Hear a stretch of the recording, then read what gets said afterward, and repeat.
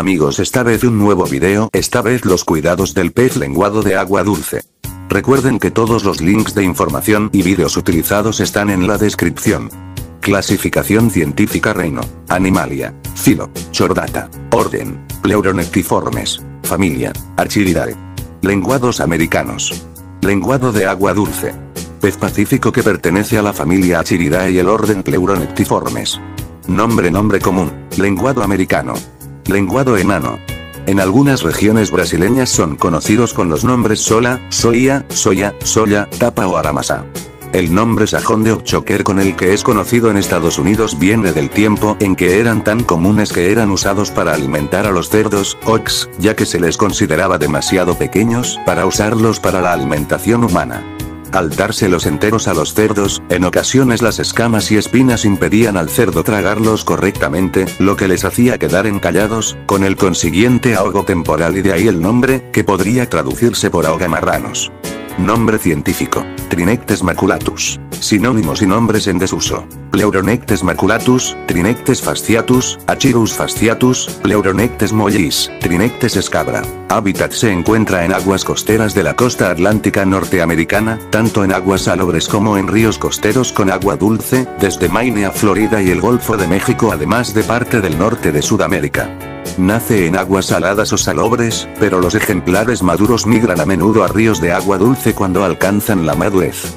Trinectes maculatus JPG Distribución geográfica. Se distribuye por toda América, Atlántico Oriental. Desde Massachusetts y el norte del Golfo de México en Estados Unidos a Venezuela. México, río Tecolutla, en Veracruz, Uruguay, río Uruguay, y, según algunas fuentes, también en Argentina en el estuario del río de la Plata.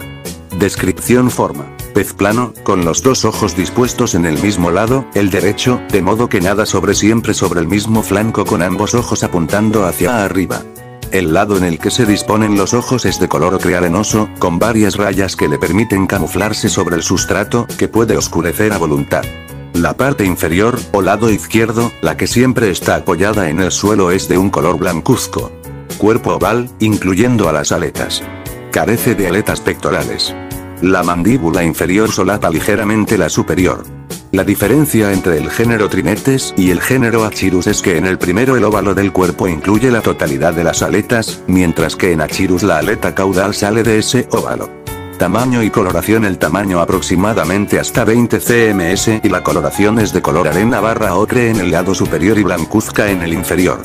Presenta varios puntos en el torso, pero su coloración es siempre relativa, pues muestra una gran capacidad mimética y es capaz de adoptar del entorno acuario. Temperatura. Subtropical, entre 6 y 24 grados agua. pH 7, 0 hay 8 minutos, 0 segundos, dureza octavo DGH, décimo quinto DGH aunque son vendidos como lenguados de agua dulce y es cierto que pasan gran parte de su vida en agua dulce, en acuario es preferible mantenerlos en las mismas aguas en las que nacen y se reproducen, salobres, densidad 1, 005, 1, 010.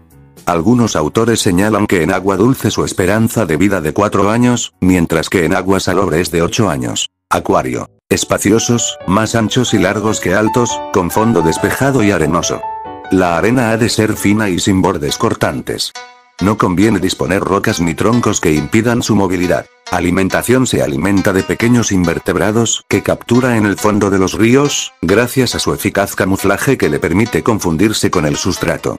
No aceptan de buen grado la comida en escamas o gránulos, siendo preferible alimentarlos con comida viva como larvas, gusanos, pedazos de gambas y de mejillón o artemia salina.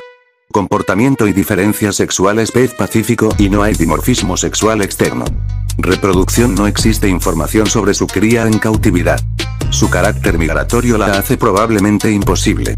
Desova entre los meses de mayo a agosto, en aguas salobres o saladas. Un estudio realizado en el estuario del río Patuxent, Maryland, estableció una relación entre la salinidad del agua y el tamaño de los huevos. Esperando que el vídeo haya sido de tu agrado, me puedes apoyar con un like y suscribiéndote al canal, se despide Aquarius Go. Recuerda que contamos con un grupo de Facebook, el link al enlace al grupo está en la descripción ahora sin más adiós.